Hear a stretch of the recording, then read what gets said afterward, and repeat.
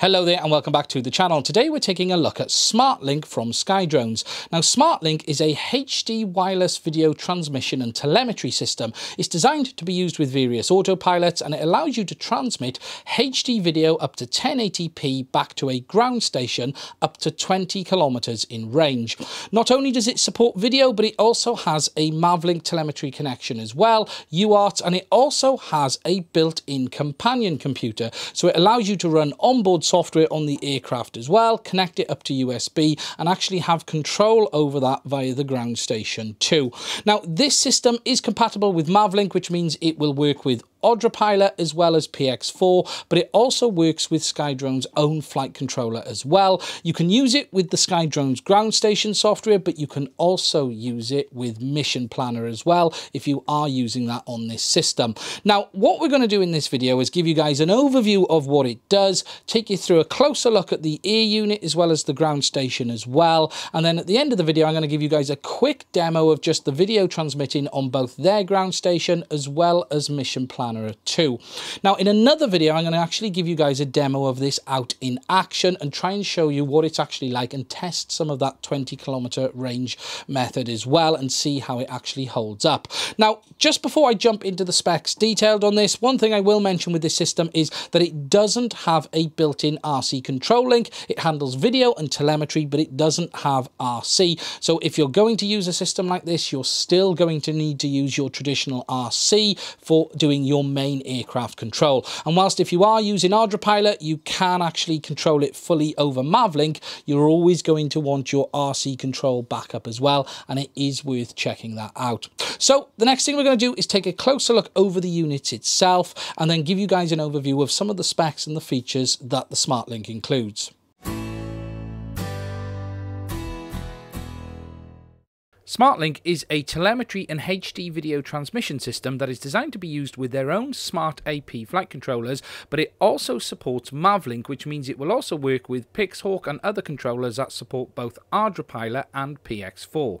It has a range of up to 20 kilometers and is AES encrypted, and it supports video telemetry over the wireless link.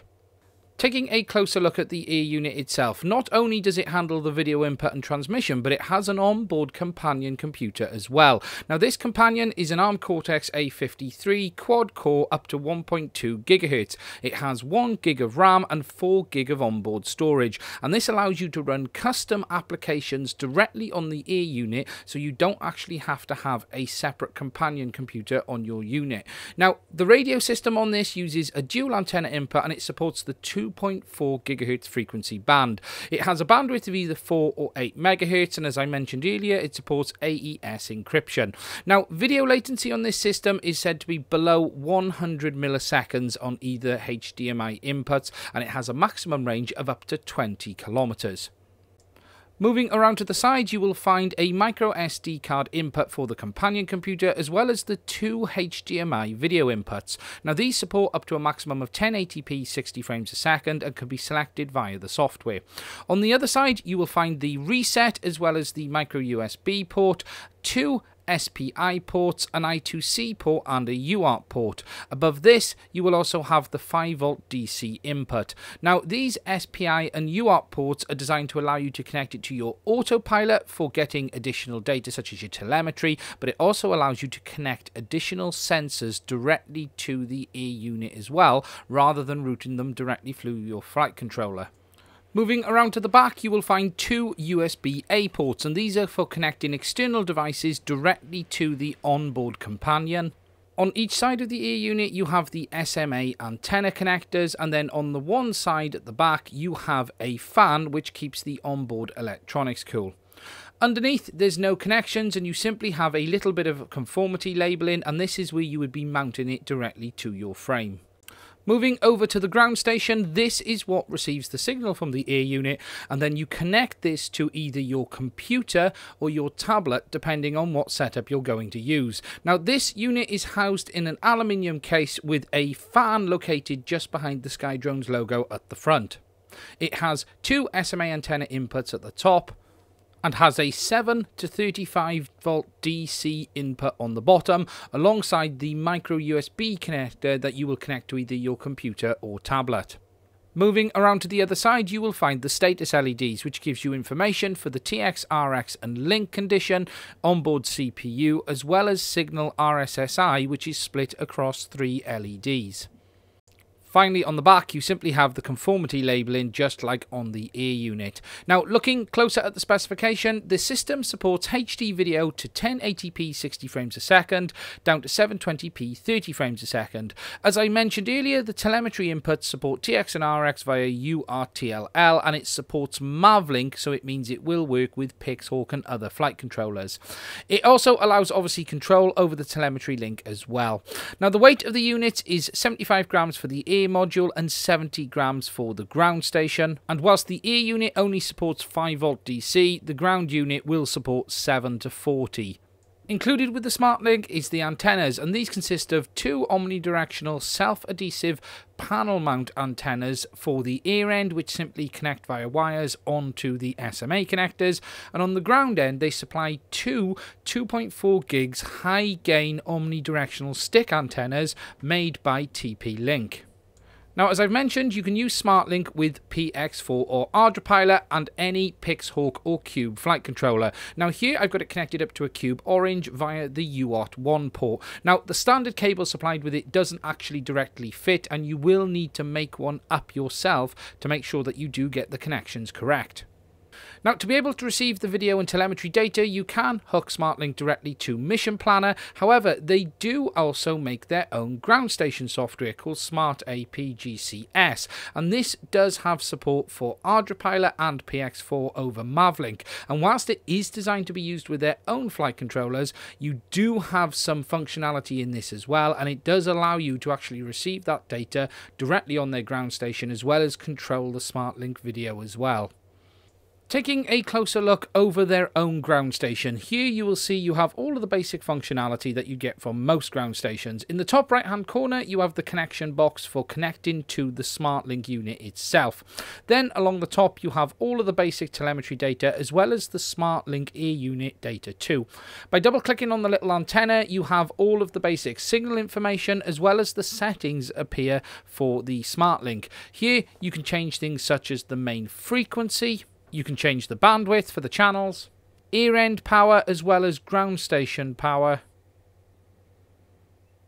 and also the ability to set a maximum distance as well. Under the Security tab, you have the ability to change the user and password ID settings for the AES encryption. Coming out of here in the bottom corner you will see the video box. Now currently this is showing blank because I haven't actually selected the video input. If you click the little cog in the bottom corner and select SmartLink HDMI, after a second or two the main video input will appear. Now I've currently got this connected to my GH5 looking at the air unit on the bench. Now you can select the HDMI inputs by the options in the right hand side and once it is connected you have the ability to move the video screen about floating depending on where you want to put it.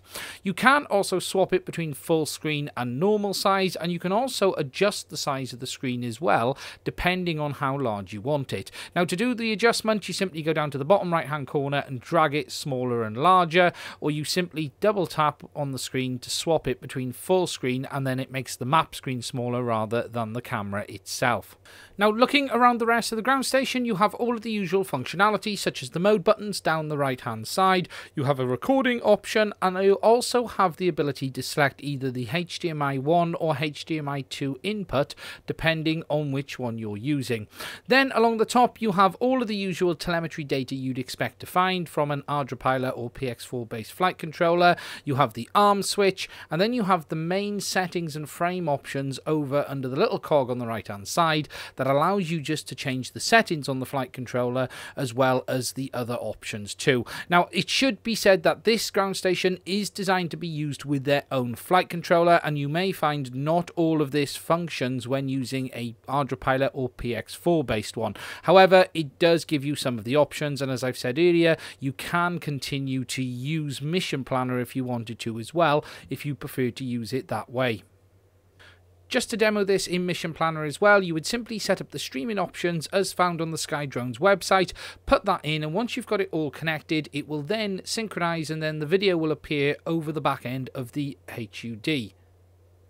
Now, just like whenever you use a streaming device in Mission Planner, you have all the same options available to you. You have the live video over the heads-up display, and then you can pop it out to full screen if you want to. You can adjust the size of it, and you still have all of the usual telemetry options as well, just as you would do using a normal telemetry link. Now, because this system doesn't have an RC, you would still need a separate RC control link because there is no S-Bus, but it does give you all of the functionality from Mission Planner to be able to control your autopilot, your plane, drone, or ground unit, depending on what you want to do. And you can simply go in, change all the params as you normally would, and then go back to the main screen and you have your video in place ready to go.